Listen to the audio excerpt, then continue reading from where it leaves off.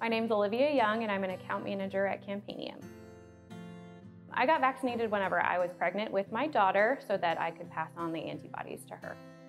So I actually did get COVID when I was pregnant, um, and so it was even more important for me to get vaccinated. I have a lot of friends that they're worried that they've heard them the myth that it makes you like infertile or that it could hurt your pregnancy or anything, and it's just not true. So it, I mean, my doctor was all for it, pushed me for it, said as soon as I could to get it.